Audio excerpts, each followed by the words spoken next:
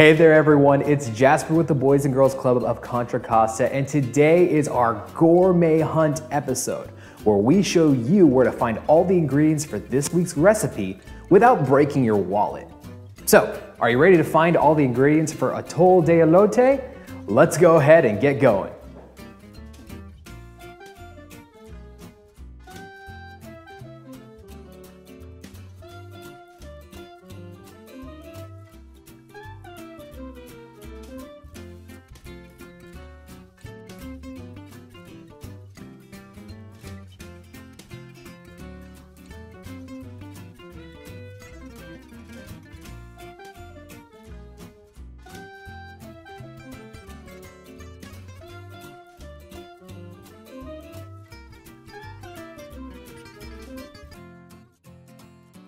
Hopefully you learned a little bit about how to navigate a store to find your gourmet ingredients. If you get a hold of the ingredients you saw here today, you can make a atole de elote.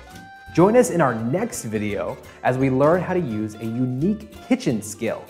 Don't forget to like and subscribe and I will see you next time. All right? Take care everybody.